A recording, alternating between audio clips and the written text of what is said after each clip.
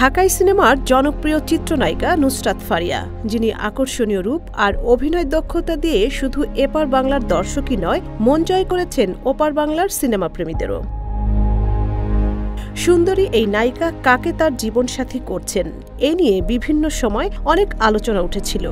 কিন্তু গেল বছরের মার্চে হঠাৎ করেই নুসরাত তার দীর্ঘ সাত বছরের প্রেমিক রনি রিয়াদ রশিদের সাথে বিয়ের ঘোষণা দিয়ে বাগদান সেরে ফেলেন। সংবাদ মাধ্যমগুলোকে তিনি জানান, ডিসেম্বরেই তিনি রনি রিয়াদের সাথে বিয়ের পিড়িতে বসছেন।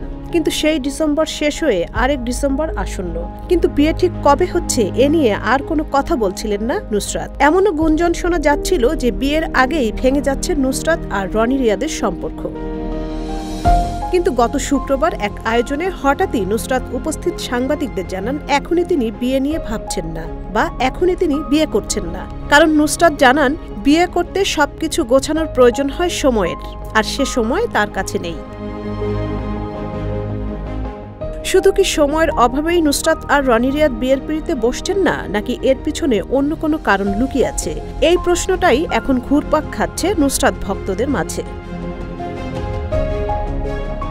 Sanjida Juthi radio today.